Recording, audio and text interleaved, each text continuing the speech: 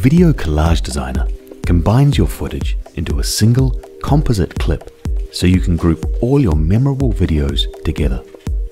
Easy to use and with plenty of room for creative customization. Let's take a look at how you use it. Open PowerDirector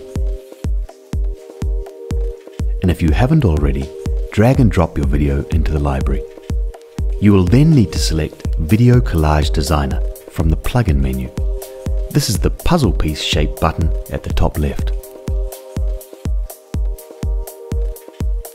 Once open, let's first choose a layout from the top of the screen.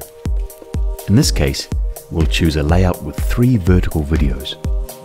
But there is a great range of layout options allowing for up to seven videos in one collage.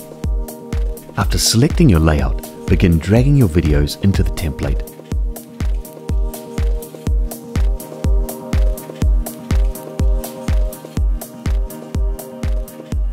Adjust the screen sizes by clicking on the borders. Please note that the spaces are numbered 1, 2 and so on, which will play a role later in this video. Please also note that if you'd like to adjust the length of individual videos, just hover over the video and click on the scissor shaped button. From here, you can trim your videos one by one.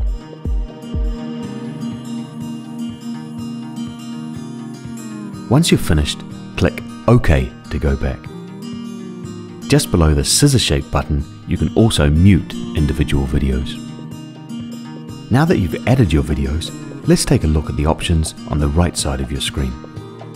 The first option is playback settings, which includes more advanced settings that we will cover in a moment.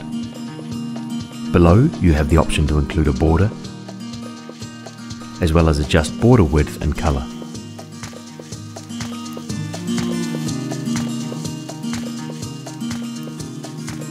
Further below, you can choose whether your frame animation kicks off at the beginning or the end of your video. To see this animation, just press the play button to preview. Please note that every template includes different animations, which you also have the option of turning off completely.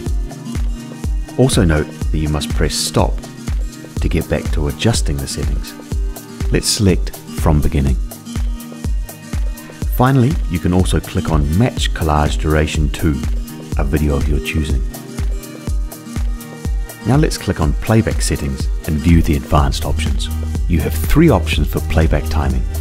Let your videos all begin at once, delay each video to a certain duration, or simply have them play one after the other.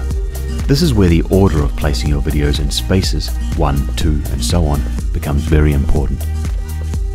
Next you have Start Clip Playback. This has to do with the animation you previewed earlier. If you would like your videos to start in unison with the animation, select with frame animation. If you would like your videos to start once the animation is finished, select after frame animation. Finally, we'll choose what happens when your video playback ends.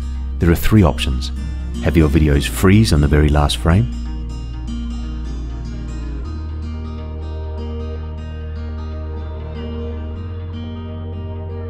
display a certain color in place of your videos,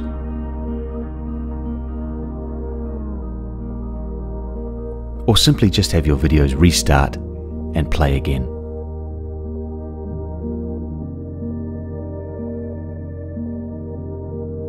Once you've applied all your playback timing changes, click OK. You'll be sent back to the timeline where you can see the collage clip has now been added.